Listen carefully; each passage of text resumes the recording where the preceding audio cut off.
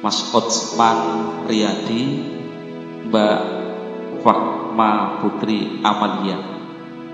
Anda berdua akan memasuki yang namanya membina rumah tangga baru, bertanggung jawab baru. Anda akan diikat dengan aturan-aturan agama dan aturan-aturan pemerintah yang namanya pernikahan. Ikatan itu mempunyai kekuatan hukum, mempunyai kekuatan hukum di dunia sampai di hadapan Allah. Itu nikah.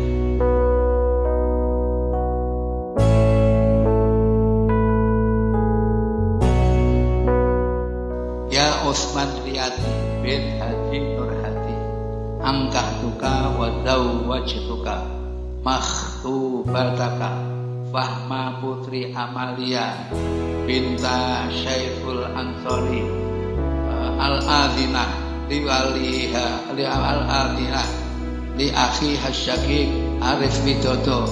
Muwakili wa adin li fi nikahiha wa tadbidiha minka. Bimahri adawi adawati sholat wa mi'ata wa alfi alfi rupiah halan. Wabil tu nikah wa tasbihah ya, bil bahri